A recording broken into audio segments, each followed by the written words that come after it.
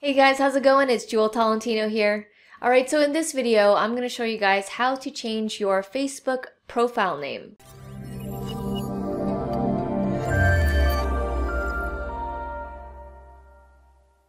Alright, so I'm here on my Facebook profile right now, and this is what I'm talking about. This name right here, if you want to change that, you want to head over to the top right hand area where the triangle thing is, and then you go down to the settings and then from here you're going to see your name.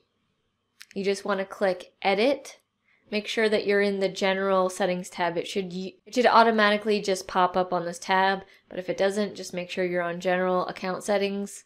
Click edit over here, and then from here is where you can do the actual change. Now it says a note here, it says if you change your name on Facebook, you can't change it again for 60 days. Don't add any unusual capitalization, punctuation, characters, or random words. You can also add other names, and you can also add or change your language specific name. Once you've filled it in, then you click review change and it's going to ask you something like to confirm and it's going to say something like, okay, if you do this change and you confirm it, you won't be able to change it for the next 60 days. So that is how you change your Facebook profile name. Alright guys, thank you so much for watching. If we were able to help you out, please let me know by giving us a like, comment, or subscribe. Thank you guys so much for watching, and I'll see you in the next video.